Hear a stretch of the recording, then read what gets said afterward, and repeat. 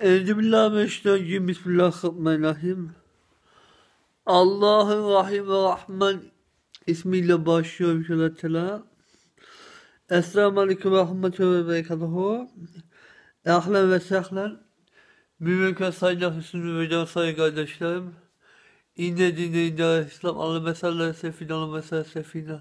Habibi tabi kulum ve kebatla kabayla hücünün mollası. Hacı Mahmud Efendi kifanı. Bende mollalık var, hafızlık da var. 13, 14, 15 sayfa biliyorum yani Kur'an-ı Kerim'de. Molla hayda başucu diyebilirsiniz bana. 13, 14, 15 sayfa yakın, Esme'imde 16 sayfa yakın Kur'an-ı Kerim. Molla hafız. Molla hafız hayda başucu diyebilirsiniz bana.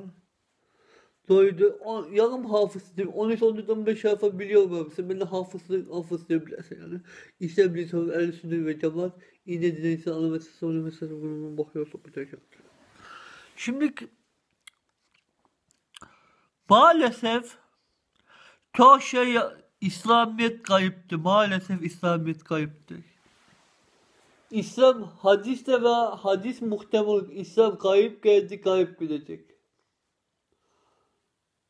Diyelim fazla çok fazlaca kadın cehennemden önce çok fazla da fakir de cennete girecek.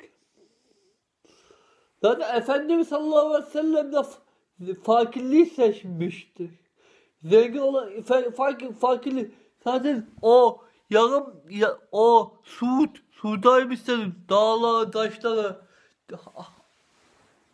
Söyle kaf müşrikler geliyor ki ya Muhammed diyor bu dağlar taşları diyor altın yap diyor sana iman itaat edelim diyor. Allah-u Teala Allah Resulü Allah-u Teala bu müracaat ediyor.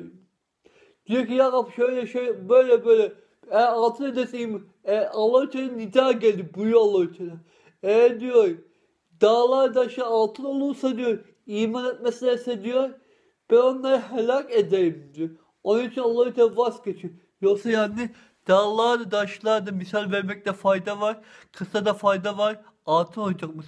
Ondan sonra petrol oluyor işte bu kadar zenginlik e, Suud Vadisi. Hepsi de diyebilirim ki ben yalan dedi.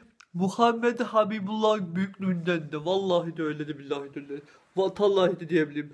Muhammed Aleyhisselam o topraklarda yaşadığından büyüklüğünden diyor mesela.